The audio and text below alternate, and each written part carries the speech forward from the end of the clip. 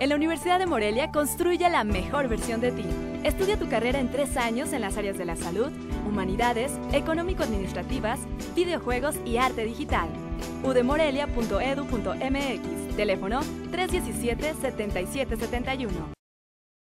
El combate a los delitos de extorsión y secuestro en Michoacán no será a través de una estrategia pública y generalizada la atención será directa y sin publicitar a casos particulares, afirmó Alberto Reyes Vaca, secretario de Seguridad Pública en Michoacán.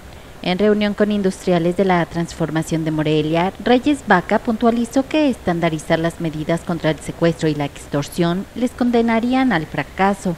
No podemos manejar en forma general una estrategia porque la gente que se dedica precisamente a este tipo de cosas son gente, son gente son gente impresionantemente listas, muy listas.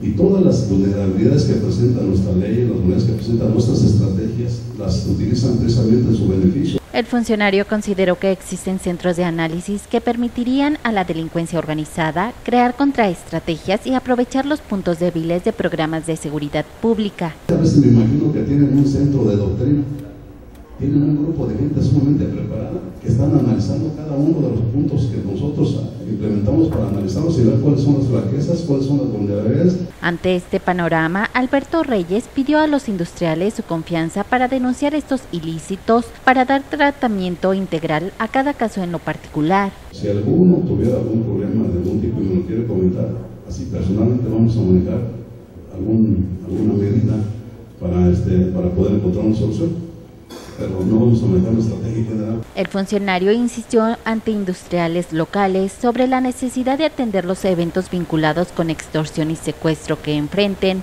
de manera puntual y sin publicitar las acciones que se implementen. Con información de Fátima Paz, informa Cuasar TV.